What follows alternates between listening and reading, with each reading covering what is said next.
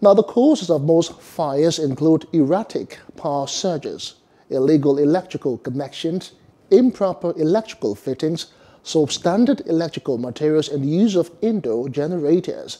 Plus TV correspondent Olasunkomi Ogumoko reports that some Nigerian youths in Ekiti State are advocating regular fire drills in schools, offices, and markets, which will enhance effective prevention, detection, and escape techniques.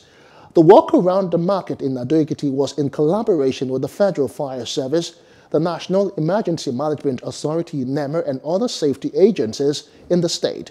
The experts say Aside the need for orientation and constant education, Nigerians should learn to insure their properties. Their sensitization is very important. They shouldn't only think about how to rescue people after fire outbreak.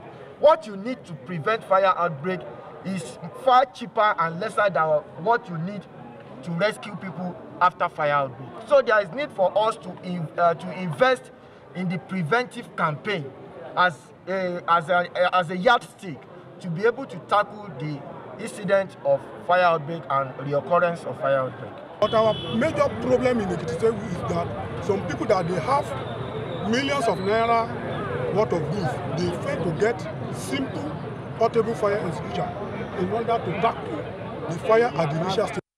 Hello, hope you enjoyed the news. Please do subscribe to our YouTube channel and don't forget to hit the notification button so you get notified about fresh news updates.